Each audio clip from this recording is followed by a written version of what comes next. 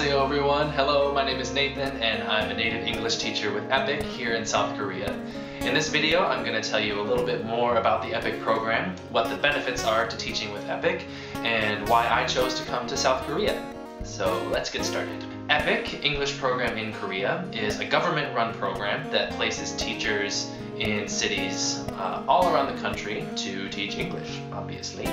They accept applicants from the US, Canada, Australia, New Zealand, the UK, Ireland, and South Africa. I think that's all of them. There are seven of them. Most of the positions are with elementary school students. There are occasional opportunities to work with middle or high school students, but those are a little bit harder to come by, so chances are when you apply to EPIK, you are applying for an elementary school position.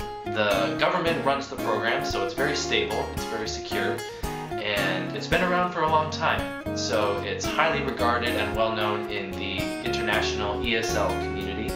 It's known to be very prestigious and very reputable. In addition to that, it also offers what I've found to be the best benefits uh, to native English teachers of any country or any program that you will find in the world. So what are those benefits?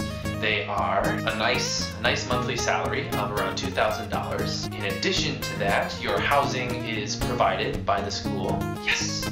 So you don't have to pay rent or anything like that, which is awesome. You just need to cover utilities and internet and things like that, which are very, very low. So it's very easy to save money while living in Korea. When you come to Korea, they will reimburse you for your airfare, and then when you return home, they will underwrite those travel expenses as well. As far as vacation days are concerned, they give you 18 paid vacation days split between winter and summer vacation, and that's in addition to all of the national holidays. So really nice good amount of vacation time that you can use to either explore Korea or go somewhere else in Southeast Asia. Uh, this past year I went to Cambodia and Thailand in the winter and in the summer that's coming up I hope to go to Malaysia and Singapore. As far as class sizes go, they range between about 20 and 25 students on average, I would say. I know plenty of teachers who work with groups that are smaller than that, but I haven't heard of anyone working with groups above the 25 to 26 size. So that's nice, they're manageable. And in the public school setting with EPIK, you are working with a co-teacher 90 to 95% of the time. And as you probably know, Korea is a really technologically advanced country in many ways, and that includes the way classrooms are set up. You have access to wireless internet, uh, well, maybe not wireless, but I have, I have Ethernet in my, in my classroom, but it's still really fast, really reliable, really great convenient to have.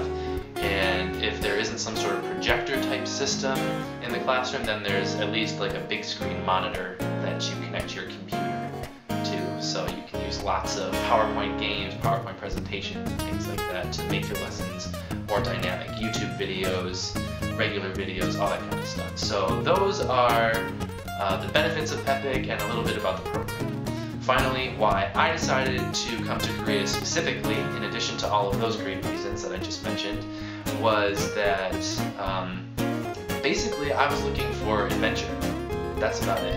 And Korea uh, offered that and more, the way I saw it. It has a great history that the country's really, really proud of. It has a really unique uh, and very strong culture that it's also really equally proud of. Everything from K-pop, K-dramas, to the food. Uh, the food is really, really good. It's a little spicy for me, typical Westerner, but I like it. Language is relatively easy to learn. I wouldn't say it's easy, um, but compared to Japanese or Chinese or any other Asian language, I think it's easy because the alphabet is phonetic, so all of the characters in the alphabet have a very specific sound, and once you know that sound, you can literally just sound out the words and that gives you a nice head start to learning the language. The scenery is gorgeous, it's so beautiful here. The country is 70% mountains, which means you're basically surrounded all the time by beautiful towering peaks. And Koreans love to hike, they love to be outdoors, so there's lots of opportunities to be active, whether it's hiking, walking, picnicking, bike riding, there's lots of rivers that run through all these cities and stuff. There's always a lot going on in Korea in terms of like festivals and things to do and things to see. Since I've been here, I've been to a, uh, a fireworks festival in Busan. I've been to a lantern festival in Jinju.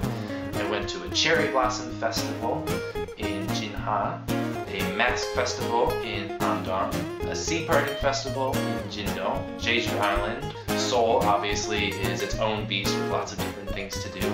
And then there are several big national parks, and when it comes to traveling within different cities in Korea, um, buses and trains and even flights are really accessible and uh, reasonably priced. So traveling is really easy uh, very, very possible. So that's an overview of EPIK and the program and a little bit about why I wanted to come to Korea. If that sounds like something that you're interested in and you want to learn more, then I recommend you reach out to the folks at Reach to Teach. But I'm ching, reach out to the folks at Reach to Teach, pun not intended, um, to find out more. They can help you uh, learn about the application process and stuff like that. Uh, they are the agency that I used uh, to get my job in Korea, so they're a big part of why I'm here.